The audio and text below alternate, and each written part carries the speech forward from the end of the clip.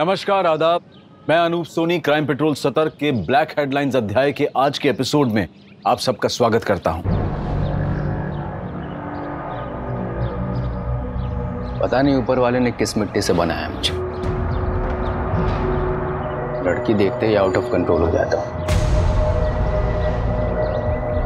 अजीब सा फितूर चढ़ने लगता है तन बदन में।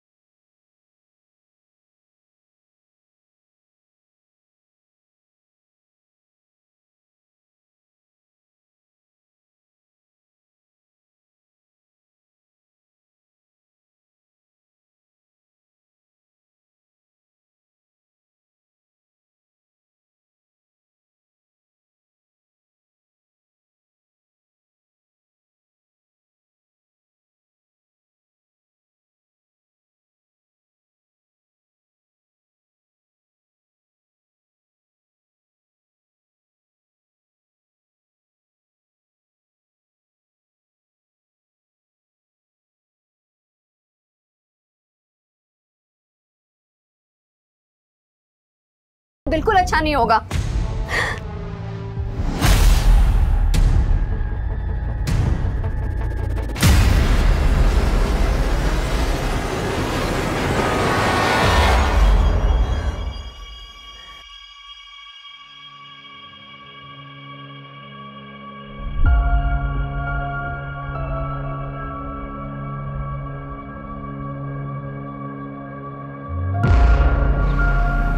सरफराज यहाँ क्यों खड़े अरे कुछ नहीं भाईजान बस देख रहा था हमारी बीविया कितना काम करती है।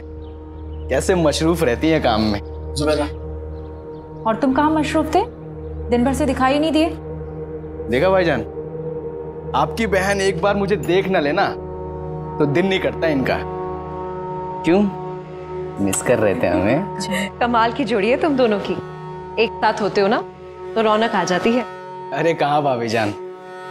दूर के ढोल सुहाने होते हैं वरना किस्मत तो अरबाज भाई की अच्छी है जो आप उनके गले का हार बनी। हमारी किस्मत में तो कांटे लगे हैं बस। अच्छा बहुत चुपती हूँ ना मैं भी बताती हूँ। आयशा ये क्या कर रही बहुत चुपती हूँ ना मैं रुको रुको। अरे आयशा आयशा ये क्या करी रही तुम आयशा ये बाहर निकलो। सरफराज बच्चों की तरह सॉरी भाभी। देखा? तेरी मस्ती में भाभी के कपड़े खराब हो गए। तु, तुम्हारे घर अरे कोई बात नहीं। मैं चेंज करके आती हूँ।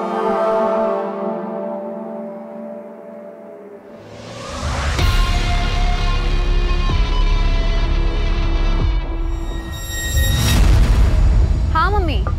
हाँ बस ऑफ़िस से निकल गई हूँ। ध्यान से आना। मम्मी आप ज़्यादा टेंशन मत लीजिए। अच्छा मम्मी एक बात बताना वो राजन मेरा लैपटॉप रिपेयर करके दे गया? नहीं तेरा लैपटॉप तो नहीं आया? अरे कितना बड़ा झूठा है। मुझसे तो कह रहा था दोपहर तक रिपेयर करके घर पहुँचा दूँगा। चलो मैं जाके देखती हूँ। आ भैया समता नगर। हाँ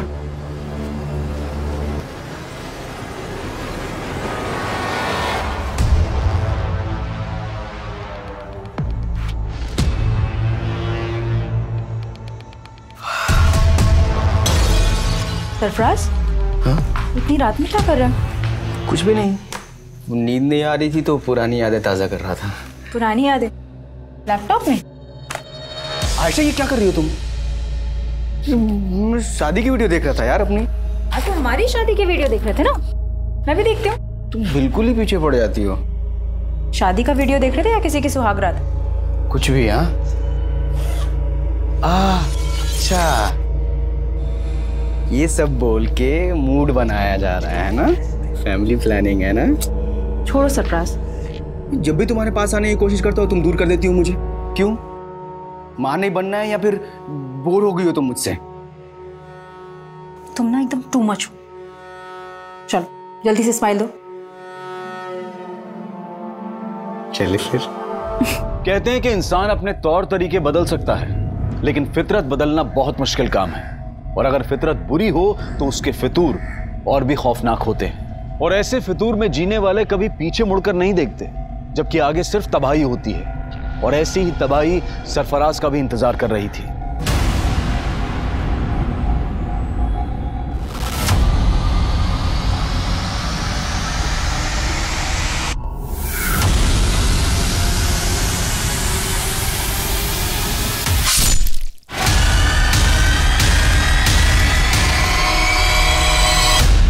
हत्या भले ही सरफराज की हुई थी, लेकिन वो फितूर नहीं मरा था जो इंसानी दिमाग से सोचने समझने की ताकत छीन लेता है। मरने वाला सरफराज भले ही बदनाम था, लेकिन मारने वाला एक अरसे तक गुमनाम था। यह एक ऐसा मर्डर केस था जिसको हेडलाइन तब मिली जब एक और इंसानी फितूर गुनाह के पाँव पसार रहा था।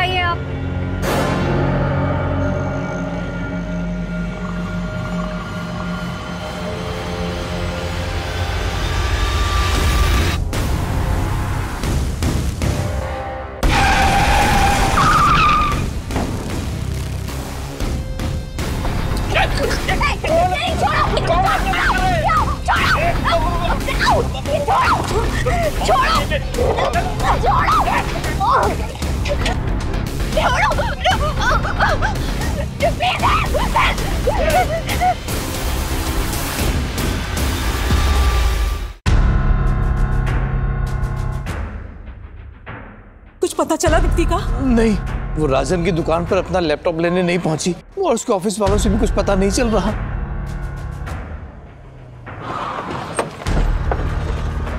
सर मैंने ही फ़ोन किया था आपको। यहीं से अगवा करके ले गए सर। मैं उन्हें यहीं समता नगर लेकर जा रहा था। इतने में वैन से दो लड़के आए और उठा कर ले गए सर। उस गाड़ी का नंबर नोट किया जिसमें लड़की को लेके गए? नहीं सर। सब कुछ इतना जल्दी हो गया कुछ समझ में नहीं आया सर।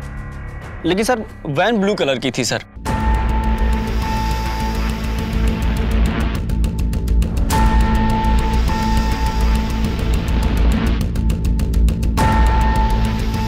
दीप्ति किडनैपिंग केस देखते ही देखते इतना बड़ा बन गया था कि केस तुरंत क्राइम ब्रांच को सौंप दिया गया।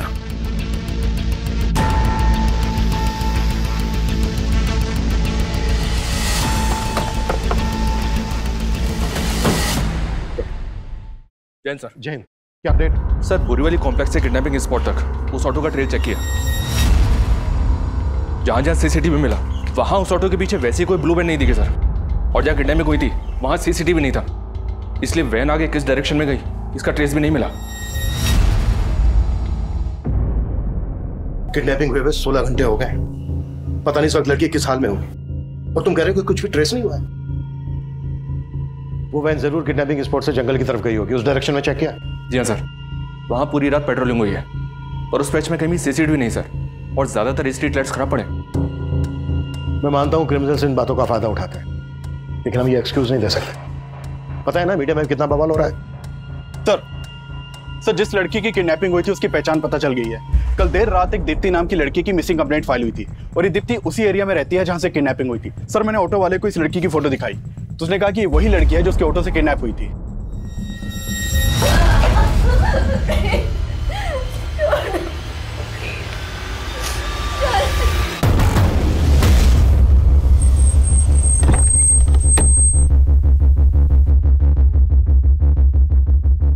अरे लेकिन कुछ तो पता कीजिए दो दिन हो गए उससे गायब हुए हुए। आप मैं, मैं लेकिन मैं, मैं मैं मैं आपको कॉल करता हूँ थोड़ी देर में। क्या? दीप्ति किडनैप हुई है? आपको किसी तरह की कोई फ्रौती का कॉल आया? नहीं सर। किसी पर शक है आपको? सर एक लड़का दीप्ति को काफ़ी दिनों से परेशान कर रहा था। कौन लड़का? पता नहीं सर लेकिन काफ़ी टाइम से दीप्ति परेशान लग रही थी। कुछ दिन पहले वो फ़ोन पे किसी के साथ झगड़ा कर रही थी तभी इस बात का पता चला। देखो तुम जो कोई भी हो ना ये हरकतें करना बंद कर दो वरना बिल्कुल अच्छा नहीं होगा।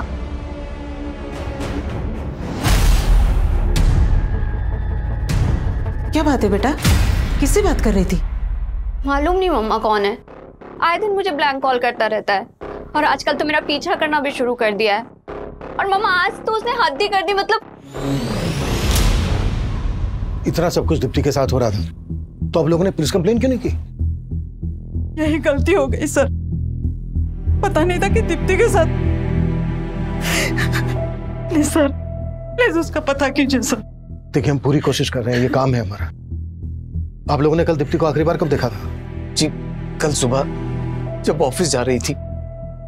कहाँ ऑफ़िस है दीप्ति का? जी बोरीवली में। एबल कंप्यूटर्स नाम की कंपनी है वहीं पर सेल्स एग्जीक्यूटिव है। ऑफ़िस से निकलते वक्त उसने अपनी मम्मी को फ़ोन भी किया था। अच्छा मम्मी एक बात बताना वो राजन मेरा लैपटॉप रिपेयर करके दे गया? नहीं तेरा लैपटॉप तो नहीं आया। अरे कितना बड़ा झूठा है। मुझसे तो कह रहा था दोपहर तक रिपेयर करके घर पहुँचा दूँगा। चलो मैं जाके देखती हूँ। दीप्ति रात को नौ बजे तक घर ही नहीं पहुँची। फिर उसका फ़ोन भी बंद आने लगा। मैं राजन की दुकान पर गया पूछने के लिए तो वो कहने लगा कि दीप्ति वहाँ भी नहीं पहुँची। ये राजन की शॉप कहाँ है? हाँ सर। दीप्ति मैडम मेरी पुरानी कस्टमर है। उन्होंने अपना लैपटॉप ठीक करने के लिए मुझे दिया था। राजन भाई अरे। ये लैपटॉप चेक कर लेना। आजकल बहुत हैंग कर रहा है और इसमें वाईफाई का सिग्नल भी नहीं शो करता है। अरे मैडम दो मिनट में चेक करके बताता हूँ प्रॉब्लम क्या है। आप बैठो। बैठो इधर। मैडम के लिए कोल्ड ड्रिंक लेके आ। जल्दी। नहीं राजन भाई मुझे ना बहुत लेट हो रहा है। आप इसको सही करा के ना घर पहुँचा देना बस। आप इसे भी रखो और पहुँचा देना आप ठीक है? अरे मैडम दो मिनट में देख कल शाम सात साढ़े सात बजे उनका फ़ोन भी आया था मुझे।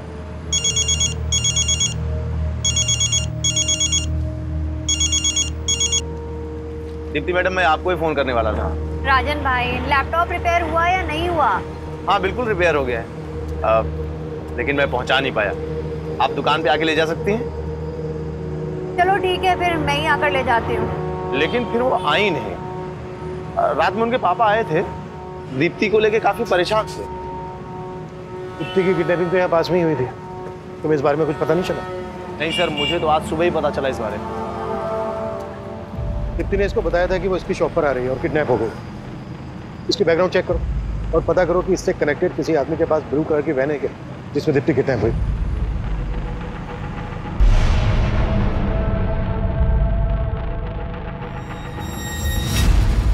दीप्ति के पेरेंट्स ने बताया था कि कोई लड़का दीप्ति को ब्लैंक कॉल करता है स्टॉक करता है। दीप्ति के कॉल रिकॉर्ड से स्टडी करो और जहाँ जहाँ दीप्ति का आना जाना था वहाँ वहाँ सीसीटीवी फुटेज चेक करो। ये लड़का दीप्ति के ऑफ़िस गली मोहल्ले कहीं से भी कनेक्टेड हो सकता है। अरे भाई साहब कमाल करते हैं आप भी। इतना सब कुछ हो गया आपने बताया भी नहीं क्योंकि लड़का दीप्ति को परेशान कर रहा था। अब इतने गैर और इतने पराये हो गए हम। बस जय। अभी ये सब बात करने की हालत में नहीं है हम लोग। अरे भाई साहब हम समझ सकते हैं। लेकिन हम ऐसे हाथ में हाथ रख के नहीं बैठ सकते। भाई साहब, कुछ तो बताइए आप, ताकि हम जाके दीप्ति के बारे में कुछ तो मालूम करें, उसे ढूंढे जाके कम से कम।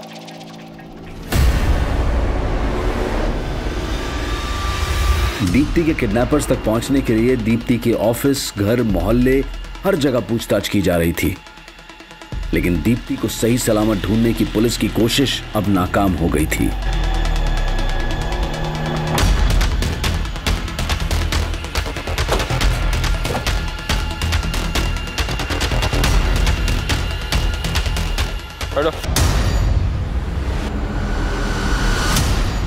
हालत देखकर तो लग रहा है सर।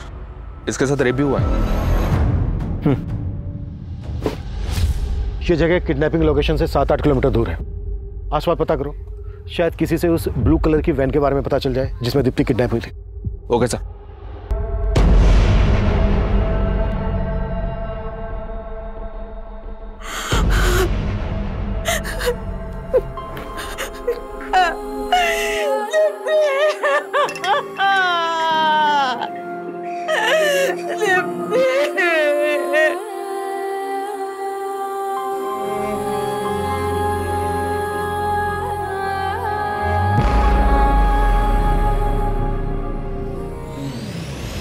लड़के को जानते हैं आप लोग? नहीं सर। क्या इसी लड़के ने संकेत नाम है इसका। इसका नंबर हमें दीप्ति के कॉल रिकॉर्ड्स में इनफैक्ट ये अपने दो अलग अलग नंबर से दीप्ति को कॉल करता था। सर एक मिनट। मैंने इस लड़के को ही देखा है।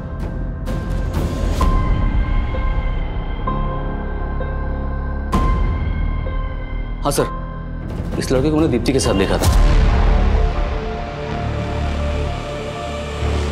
दीप्ति बहुत गुस्से में लग रही थी। जब मैं वहाँ पहुँचा तो लड़का चला गया वहाँ से। दीप्ति क्या हुआ? निकलो यहाँ से तुम। कौन था ये? दीप्ति ने तो कुछ नहीं बताया। हो सकता है कि ये वही लड़का हो जो उसको स्टॉक कर रहा था। जब इस लड़के को दीप्ति के साथ देखा था आपने कब की बात है काफ़ी समय पहले थे। कहाँ देखा था? दीप्ति के ऑफ़िस के बाद सर मैंने कुछ नहीं किया दीप्ति के साथ। वो मेरी अच्छी दोस्त थी इसलिए फ़ोन करता था उसको। वो भी दो दो नंबर से स्टॉक करता था उसको पीछा करता था उसका। नहीं नहीं सर मैं उसको स्टॉक क्यों करूँगा? सर वो मेरी बहुत अच्छी दोस्त थी बल्कि मैं तो उसके साथ शादी भी करना चाहता था। अच्छा तो बात यहाँ तक पहुँच गई। थी सर मैं झूठ नहीं बोलूँगा। मैं जिस कंपनी में जॉब करता हूँ उनको दीप्ति की कंपनी कंप्यूटर सप्लाई करती है। इस वजह से हमारी फ़ोन पर बातें होती थी। उसके बाद हम दोनों एक दूसरे को पसंद भी करते थे। ये लो। थैंक यू यार दीप्ति तुम इतनी इंटेलिजेंट हो। एम भी किया हुआ है तुमने। ये कंपनी में क्यों फंसी हो? तुम्हें तो बहुत अच्छे जॉब ऑफर्स मिल सकते हैं। फंसी नहीं हूँ संकेत। मैं ना बस सही मौके का इंतज़ार कर रही हूँ। सही मौका मिलते ही मैं सीधा अब्रॉड सच में? और जॉब के अलावा क्या सोचा है तुमने? मतलब? मुझे नहीं पता कि तुम कैसे रिएक्ट करोगे but I really like you क्या तुम भी मुझसे सर पसंद तो वो भी मुझे करती थी। पर सर दीप्ति शादी करने के लिए तैयार ही नहीं थी। संकेत मैंने तुम्हें कितनी बार बोला है कि मैं शादी के लिए अभी प्रिपेयर नहीं हूँ। यार दीप्ति तुम सिर्फ़ अपने बारे में सोच रही हो। क्या तुम मुझसे प्यार नहीं करती? यार बार बार वही सवाल मैंने बोल दिया। अब मुझे इस टॉपिक पर कोई बात नहीं करनी है संकेत। सर उसके बाद उसने मेरा फ़ोन उठाना ही बंद कर दिया। इसलिए मैंने दूसरा नंबर लिया था और उसको कॉल करता था मैं। हेलो अरे तुम कुछ बोल क्यों नहीं रहे हो? सर एक दो बार उसने फ़ोन उठाया। लेकिन मैं बात करने की हिम्मत जुटा नहीं पाया। और जब बात करने की कोशिश की तो और ज़्यादा नाराज़ हो गई थी। हेलो। हेलो दीप्ति कैसी हो तुम? तुम? तो तुम मुझे इतने दिनों से ब्लैंक कॉल कर रहे हो? नहीं नहीं दीप्ति मैं तो बस तुम्हें बस करो। तुम्हारी फितरत ना मैं बहुत अच्छी तरीके से जानती हूँ। और अब मुझे दोबारा फ़ोन मत करना। सर मैं तो बस उसको एक बार मिलना चाहता था लेकिन उसका कोई जवाब ही नहीं आया। वो जब तेरी ये समझ में आया कि वो तुझे अवॉइड कर रही है तो ये बात तेरे से बर्दाश्त नहीं हुई। इसलिए तूने दीप्ति को किडनैप किया और उसके बाद उसका रेप किया और मर्डर कर दी। सर क्या बात कर रहे हैं आप? मैं सच बोल रहा हूँ मैंने उसके साथ कुछ भी नहीं किया। मैं कसम खाता हूँ। जब तुमने उस लड़के को दीप्ति से झगड़ते हुए देखा तब मुझे क्यों नहीं बताया? उस दिन तो बड़ी बड़ी बातें कर रहे थे। अब मुझसे ही पूछ रहे हो कि लड़का कौन है? अरे भाई साहब अगर तब बता देते ना तो बड़ी मुसीबत हो जाती। अच्छा ठीक है आज बता रहे हैं तो क्या आप सुन रहे हैं? क्या क्या कहना क्या चाहते हो तुम? भाई साहब कहना ये चाह रहे हैं कि आप दीप्ति को अच्छी तरह से जानते थे वो कैसी थी? अगर तब बोलते ना तो कहते कि मेरी लाइफ में ताक झाँक कर रहे हो। देख लिया ना आपने आप लोगों से कितना छुपा दी थी वो। खबरदार जो मेरी बेटी के बारे में कुछ बोला तो। वो अब नहीं रही है और नहीं भाभी जी मेरे कहने का मतलब ऐसा नहीं था। तुम्हारा सब मतलब समझती हूँ मैं। मुझे ये बताओ कि तुम दीप्ति के ऑफ़िस के पास क्या करने गए थे? सर दीप्ति की पोस्टमार्टम रिपोर्ट के मुताबिक पहले दीप्ति को ड्रग्स देकर बेहोश किया गया फिर उसका रेप किया गया। ये तो दीप्ति की लाश देखकर लग ही रहा था। कॉज ऑफ़ डेथ सफोकेशन लेकिन सर किलर यहीं तक नहीं रुका। दीप्ति की लाश के साथ भी कई बार रेप किया गया। ये कोई विकृत मानसिकता वाला ही कर सकता है। संकेत ने कुछ बोला नहीं सर। लेकिन हाँ सर किलर ने दीप्ति की बॉडी से अपना डीएनए भी वाइप आउट कर दिया। दीप्ति को दो लोगों ने किडनैप किया था। अगर संकेत दीप्ति की किडनैपिंग में शामिल है तो उसका कोई दूसरा साथी भी होगा।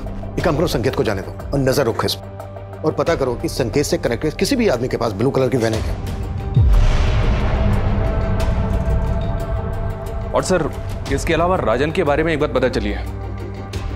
राजन पे तकरीबन एक साल पहले एक लड़की ने मोलेस्टेशन का चार्ज लगाया था। केस स्ट्रांग नहीं था इसलिए छूट गया। इसे देखकर ही लग रहा था कि आदमी ठीक नहीं है। लेकिन सर फ़िलहाल इसके बैकग्राउंड में ऐसा कोई नहीं मिला है जिसके पास कोई ब्लू कलर की वैन हो। एक मिनट। हाँ अभिषेक बोलो। सर राजन के बारे में पूछताछ की तो राजन का एक हेल्पर गिरीश सामने आया है। तो उसके पास राजन का एक लैपटॉप भी है। सर ये राजन भाई का लैपटॉप है जिसमें राजन भाई ने वो लड़कियों की गंदी गंदी तस्वीर रखी है साहब ये लैपटॉप तुम्हारे पास कैसे आया? साहब वो राजन भाई क्या मैं बहुत सालों से काम करता था साहब। और पिछले तीन चार महीने की पगार वो मेरी लटका के रख रहे थे। और जब मांगने गया तो सब धक्का मार के बाहर निकाल दे रहे थे साहब। नहीं देता पगार। चल निकल यहाँ चल निकल। तो गुस्से में आके मैं लैपटॉप उठा के भाग गया साहब। ये लैपटॉप में जो लड़कियाँ कौन है ये? सर वो मालूम नहीं सर मुझे। राजन का दीप्ति को लेकर कैसा बिहेवियर था? साहब राजन भाई तो थोड़े अयास हैं साहब। मैंने साहब को बताया था साहब। और दीप्ति मैडम को लेके उनकी नज़र कुछ ठीक नहीं थी साहब। ठीक है जाओ तुम। Thank you sir thank you Deepti के साथ जिस तरह से रेप किया गया उससे तो यही लगता है कि ऐसी मानसिकता वाला आदमी ऐसा कर सकता है। चेक करो। हो सकता है इसमें दीप्ति के भी फोटोग्राफ्स हो और राजन को लेके आओ। सर।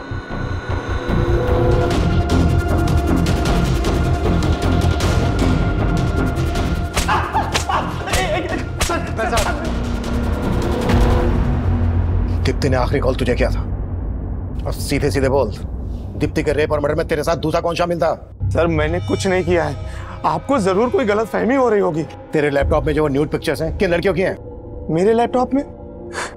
मेरा कौन सा लैपटॉप अरे वही लैपटॉप जो ग्रीश तेरी दुकान से लेके भागा था। हाँ सर गिरीश मेरी दुकान से लैपटॉप लेकर भागा था। लेकिन सर वो लैपटॉप मेरा नहीं है। वो तो एक लड़का मेरी दुकान पे मुझे बेच के गया था।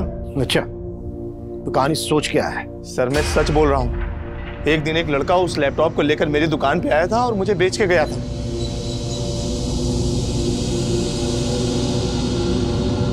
दो हज़ार रुपए मिलेंगे इसके। ठीक है दो जल्दी। सर वो लैपटॉप बेचना चाहता था।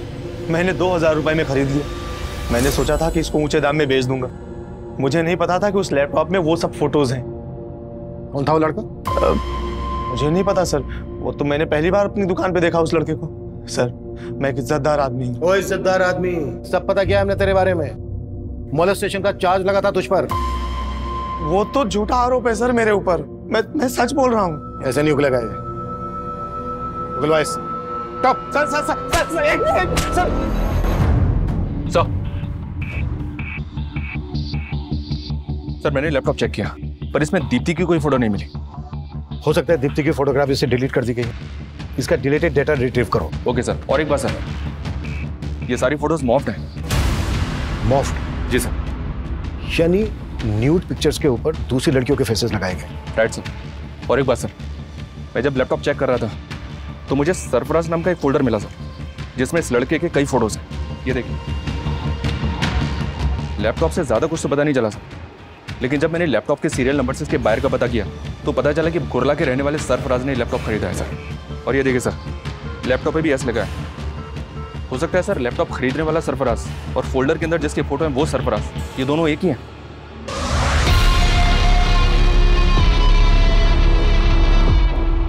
पॉसिबल है। अभिषेक कुर्ला पुलिस से कांटेक्ट करो और सरफराज को लेकर सर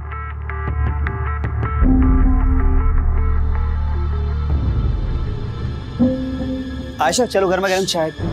सूरी।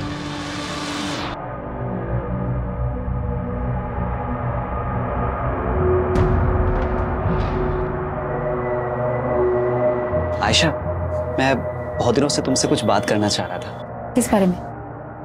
माना कि तुम्हारी डिलीवरी में काफ़ी कॉम्प्लिकेशंस थी। लेकिन अब तुम फिट हो और जूही भी एक साल की हो गई है आयशा तुम वही बिज़नेस फिर से शुरू क्यों नहीं कर देती जो तुम जुबैदा भाभी के साथ करती थी? नहीं वसीम अब हालात बहुत बदल गए हैं। मुझे नहीं लगता कि जुबैदा भाभी दोबारा वो काम शुरू करना चाहेंगी। तो तुम क्यों शुरू नहीं कर देती? क्यों? मेरा और जूही का खर्च चलाना मुश्किल हो रहा है क्या? आयशा मैंने तुम्हारी हर मुश्किल को आसान किया है। और तुम मेरे लिए मुश्किल नहीं बन सकती। और जूही उसका नाम नहीं लिया तुमने। क्यों? वो सरफराज का खून है इसलिए।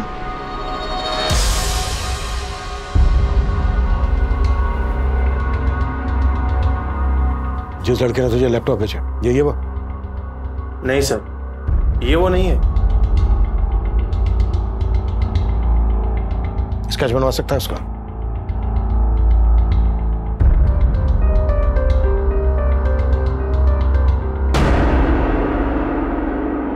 हाँ वो लड़का कुछ कुछ ऐसा ही दिखता था।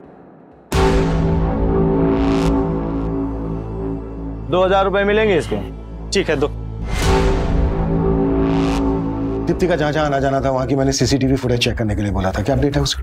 सर हमने दीप्ति के फ़ोन के लोकेशन के हिसाब से ऐसे कई एरियाज़ की फुटेज निकलवाई है। लेकिन सर फुटेज काफ़ी ज़्यादा है। फुटेज ज़्यादा है तो ज़्यादा आदमी लगाओ चेक करने के लिए।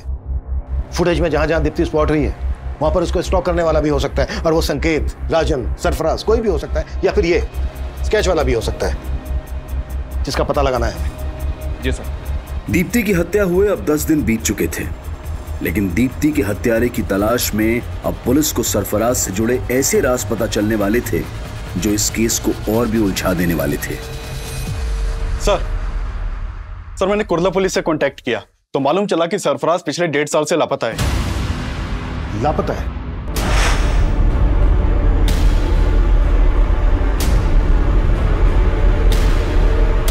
जी सर।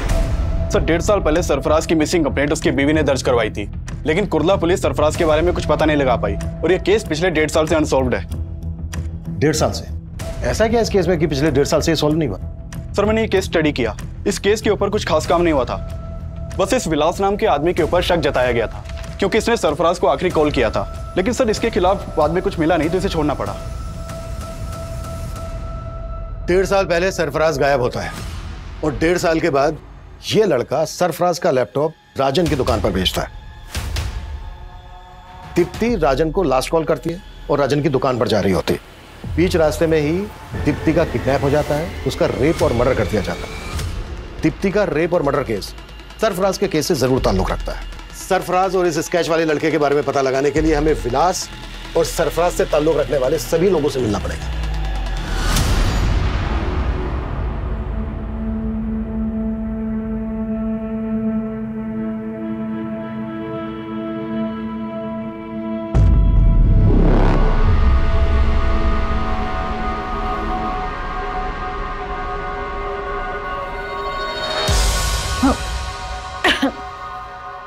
क्या हुआ ऐशा?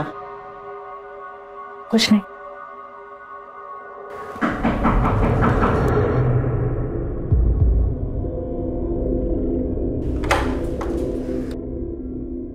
जी? आयशा। जी हाँ। मैं inspector Abhimanyu Jindal crime branch. हमें आपके पति सरफराज के बारे में आपसे कुछ बात करनी है। सरफराज? पूरे डेढ़ साल बाद सरफराज के बारे में? पूछे क्या पूछना है? हमें आपके पति सरफराज का लैपटॉप मिला है। सरफराज का लैपटॉप? कहाँ? और सरफराज? ढूंढ रहे हैं उसे। दरअसल सरफराज का लैपटॉप दही सर में एक दुकान पर बेचा गया और जिसने बेचा तो ये लड़का है। आप जानती हैं इसको? नहीं। सरफराज के लैपटॉप में हमें कुछ लड़कियों के फोटोग्राफ्स मिले हैं। उनके फेसेस कुछ न्यूज़ पिक्चर्स के साथ मॉफ किए गए हैं। दहीसर के जिस एरिया में सरफराज का लैपटॉप बेचा गया। रिसेंटली उसी एरिया में दीप्ति नाम की लड़की का रेप और मर्डर किया गया। जानती हैं आप दीप्ति को? कभी आपने देखा था सरफराज के साथ इसे जी नहीं। मैं इस लड़की को नहीं जानती लेकिन मैं इतना ज़रूर जानती हूँ कि सरफराज के लैपटॉप में बहुत सारी लड़कियों के फोटोग्राफ्स थे। लेकिन मैंने कभी किसी लड़की के न्यूड फोटोग्राफ्स नहीं देखे। वो यही थी लड़कियाँ? नहीं। मैं इनमें से किसी को नहीं जानती। लेकिन हाँ सरफराज से ज़रूर जानना चाहती थी कि ये लड़कियाँ कौन थी। कौन है ये लड़कियाँ? और इनके फोटोग्राफ्स तुम्हारे लैपटॉप में क्या कर रहे हैं सरफराज? अच्छा इसीलिए तुम उस दिन अपना लैपटॉप मुझे नहीं दे रहे थे, है ना? चुप क्यों हो बोलो सरफराज? मेरा पास्ट तुमसे शादी करने से पहले ये सारी लड़कियाँ मेरी लाइफ में आई थी एक एक करके मैं सबसे प्यार करता था। फिर मुझसे शादी क्यों की क्योंकि मैं क्योंकि मैं इन सबके प्यार में नाकाम हो चुका था। मैं नहीं चाहता कि हमारा रिश्ता नाकाम हो। इतना सब जानते हुए भी मैंने सरफराज को माफ़ कर दी लेकिन वो भरोसे के लायक ही नहीं था। एक दिन वही हमें छोड़कर चला गया। लेकिन सरफराज की मिसिंग कंप्लेंट लिखवाते वक्त ये बातें तो आपने बताई नहीं क्योंकि मुझे उम्मीद थी कि एक दिन वो लौट कर ज़रूर आएगा। मेरे पेट में उसका बच्चा था। लेकिन ना तो उसे मेरी परवाह थी ना ही अपने बच्चे की। अगर वसीम ना होते ना तो आज मैं ज़िंदा होती ना ही मेरी बच्ची। वसीम? आप ही वसीम है? अब जी सर मैं वसीम सरफराज का दोस्त। और अब हम पति पत्नी। हाँ सर। आज से डेढ़ साल पहले से मैं सरफराज के कांटेक्ट में था सर। वो एक ब्रोकर था। और मुझे एक प्लॉट की तलाश थी सर। और इसलिए मैं उससे मिला था। और ये बात सर मैंने कुर्ला पुलिस को भी बताई थी।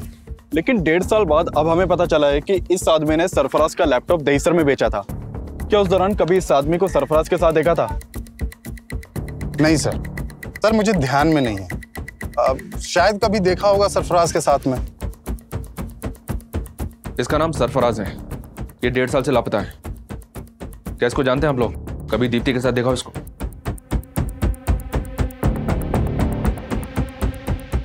और इसको?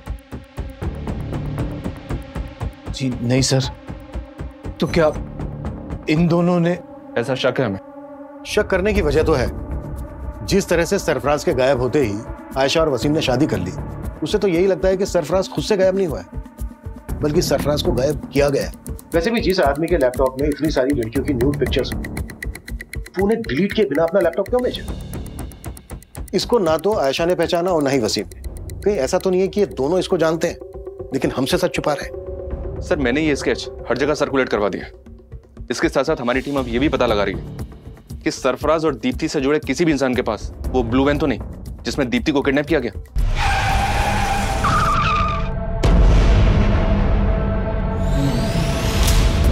सरफराज के लैपटॉप में जितनी भी लड़कियों के फोटोग्राफ्स हैं हमें उन सबकी पहचान पता करनी होगी।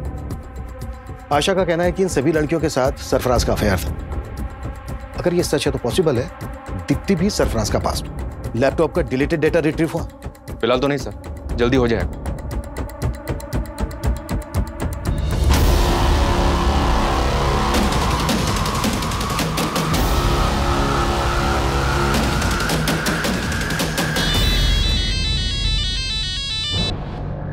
हेलो भाभी जान कैसी हैं आप? आयशा तू? लगता है अब तो आपने मेरा नंबर भी डिलीट कर दिया अपने मोबाइल से। आ, अरे नहीं वो वो फ़ोन बदल दिया है। बदल तो बहुत कुछ गया है भाभी। ज़िंदगी हर कदम पे नया मोड़ ले लेती है। आयशा तू ये क्या कह रही है? मैं कुछ समझी नहीं। मुझे तो लगा था आप खुद ही फ़ोन करके बता देंगे। लेकिन कोई बात नहीं। मैं ही पूछ लेती। पुलिस को क्या बताया आपने मेरे बारे में? पुलिस? आयशा आयशा ये क्या कह रही है तू? क्यों? पुलिस सरफराज के बारे में पूछताछ करने के लिए आपके पास नहीं आई?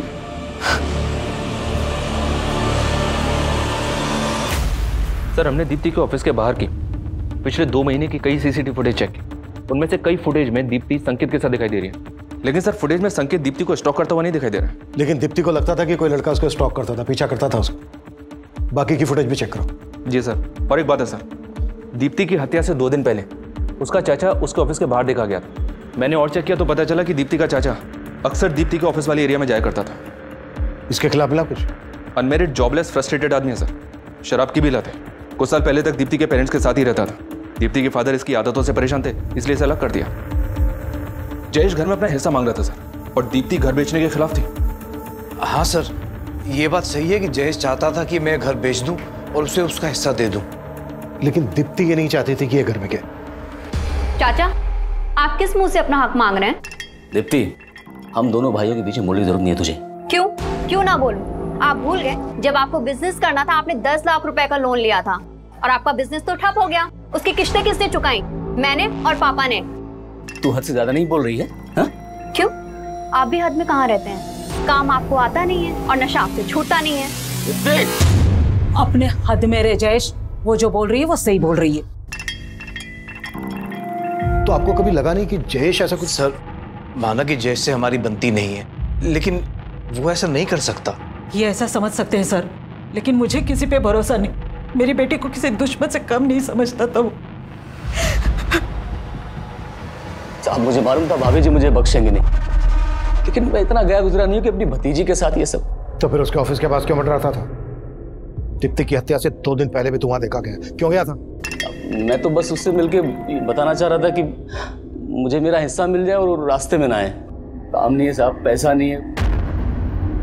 काम नहीं है पैसा नहीं। लेकिन तेरा दोस्त उमेश तो तुझे पैसे दे रहा था ना कर्जा दे रहा था ना तुझे? और रोज पे रोज तुझे दारू भी पिला रहा था। कहीं ऐसा तो नहीं है कि उसको खुश करने के लिए तूने नहीं को पैसा कुछ नहीं है साहब। मैं सच कह रहा हूँ। जो भी है वो तो तेरा दोस्त गल देगा।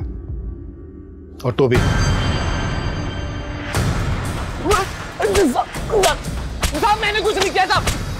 सर इस लैपटॉप का डिलीटेड डाटा रिट्रीव कर लिया गया है। सर इसमें दीप्ति के फ़ोटोज़ नहीं मिले। ये देखिए एक दूसरी लड़की के न्यूड फ़ोटोज़ मिले मतलब इस लड़की के फोटोग्राफ्स मॉर्फ नहीं किए गए नहीं सर ये फ़ोटोज़ मॉर्फ नहीं किए गए बल्कि ओरिजिनली ऐसे ही खींचे गए हैं। जु... जुबैदा? क्या सोच रही आपने हमेशा अपनी बहन के बारे में सोचा। कभी उसकी ज़िंदगी दागदार नहीं होने दी। लेकिन मुझ पर लगा ये दाग मुझे हमेशा परेशान करता रहेगा।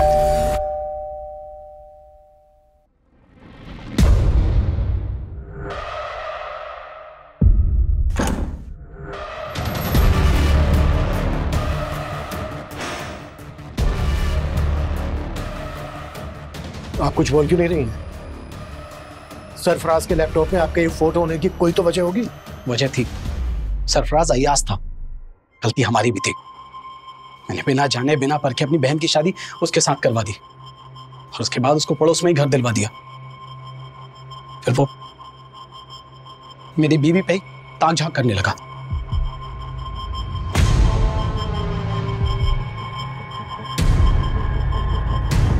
मुझे कभी भी उसकी नीयत पर शक नहीं हुआ।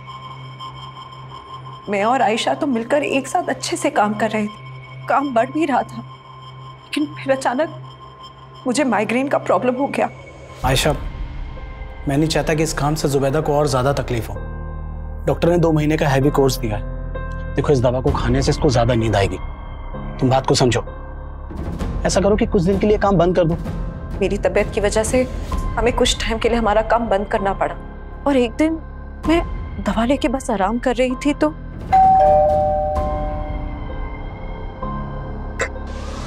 हाय भाभी।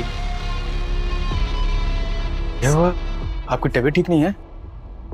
नहीं वो थोड़ा सर बहुत चकरा रहा था और अरबाज भाई कहाँ हैं?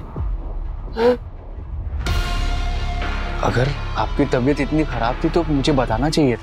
मैं दवा के नशे में थी और फिर अचानक न जाने कैसे मेरी आँख लग गई।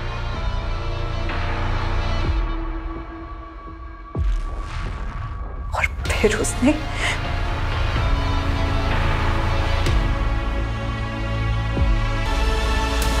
फिर अरबाज घर वापस आए तो मैंने उन्हें सब कुछ बता दी। मैं तो उसी वक्त पुलिस के पास जाना चाहती थी, लेकिन इन्होंने मना कर दिया। उसके बाद हम यहाँ मेरे मायके चले आए। लेकिन लेकिन सरफराज ने उसके बाद मुझे ब्लैकमेल करना शुरू कर दिया। सरफराज, तुम ये सही नहीं कर रहे हो। मैं मैं आयशा को सब कुछ बता दूँगी। तो बता दो। डरता नहीं हूँ मैं। सरफराज? सरफराज क्यों तू मेरी बहन और मेरी बीवी की ज़िंदगी बर्बाद कर रहा है? ठीक है। आप जैसा बोल रहे हो मैं वैसा ही करूँगा। बस एक रात के लिए जुबैदा को मेरे साथ छोड़ दो। अगर मेरी बात नहीं मानी तो जुबैदा की फ़ोटो इंटरनेट पे अपलोड कर दूँगा। सर उसने नाक में दम कर दिया था।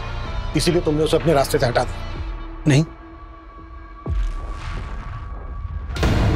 इसकी मदद से। नहीं सर। हम इसे नहीं जानते सर। जुबैदा और अरबाज सस्पेक्ट नज़र आ रहे थे लेकिन सरफराज के साथ क्या हुआ होगा इसको लेकर पुलिस नतीजे तक नहीं पहुँच पा रही थी। और उन्हें उस आदमी की तलाश थी जिसने सरफराज का लैपटॉप राजन को बेचा था और पुलिस एक एक करके हर लड़की को आइडेंटिफाई कर रही थी। लेकिन उनमें से ज़्यादातर लड़कियों का कहना था कि वो सरफराज को ठीक से जानती तक नहीं थी। पुलिस के मन में बार बार ये सवाल उठ रहा था कि डेढ़ साल पुराना वो केस दीप्ति के रेप और मर्डर से कैसे जुड़ा था? सर हमने इस फुटेज को क्लोजली एग्जामिन किया तो ये देखा। एक दो जगह और ये दीप्ति के पीछे जाता हुआ देखा। शर्मा पता करो इसके साथ दूसरा और कौन था?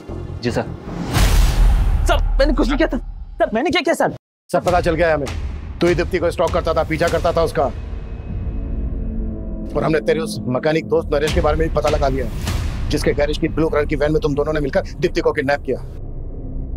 तेरे उस मैकेनिक दोस्त ने सब कुछ उगल दिया है। बेहतर यही होगा कि तू भी उगलते सब राजन भाई नहीं है क्या? राजन राजन भाई तो बाहर है। अच्छा मेरा हार्ड ड्राइव ठीक हो गया? हाँ वो वो हो गया ठीक मैडम। दो। अच्छी लगती थी दीप्ति मुझे।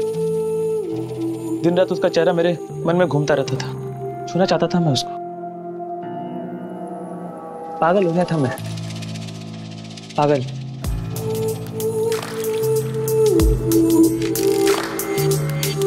प्यार करता था मैं उससे। अगर मैं उसको ये बात बोलता तो कभी नहीं मानती। मेरे को मालूम था उस दिन वो राजन भाई की दुकान पे आने वाली। आप दुकान पे आके ले जा सकती हैं?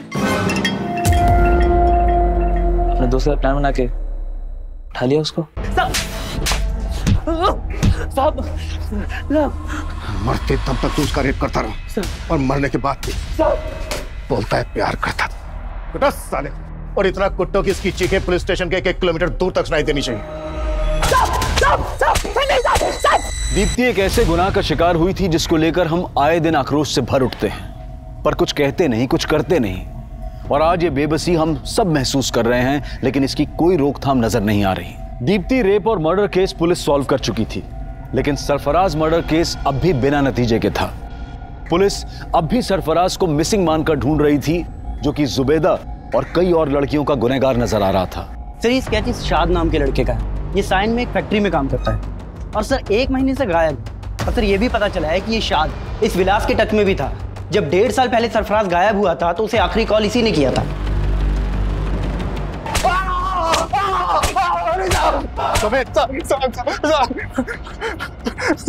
साहब साहब मेरा दोस्त था साहब और वो लैपटॉप मेरे स्टोर रूम में रखा हुआ था। साहब बिना पूछे मुझसे उठा के ले गया और उसे भेज दिया साहब तो शाद इस वक्त कहाँ है? आपने उसका स्केच दिखाया था ना? मैं डर गया था साहब। मैंने उसे गाँव भेज दिया। तो तूने और शाद ने मिलकर सरफराज को गायब किया था? नहीं साहब शाद ने कुछ नहीं किया साहब। तो फिर कौन मिला हुआ था तेरे साथ? कहा है सरफराज? क्या किया उसके साथ?